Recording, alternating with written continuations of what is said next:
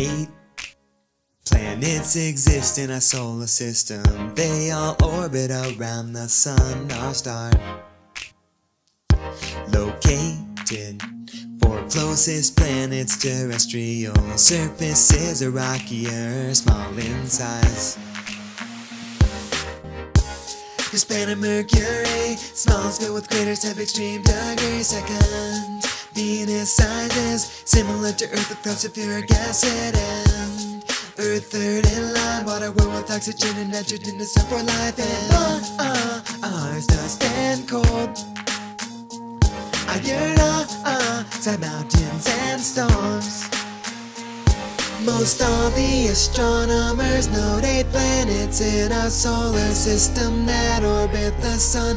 Mercury, Venus, Earth, Mars are known as planets round the inner compared to outer gassy. For these inner are much rockier, known as planets terrestrial.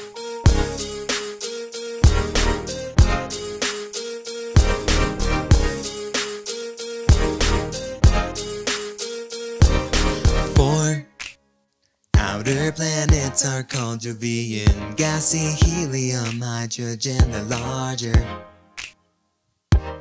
Fifth, Jupiter's the most massive planet we've got, mostly gas with a giant red spot, a storm. Six is Saturn, low density and gassy yellow rings around the outer. Seven is different, Uranus it orbits on the side tilted, and last is Neptune. Winds fast, colors blue. Most all the astronomers note eight planets in our solar system that orbit the sun.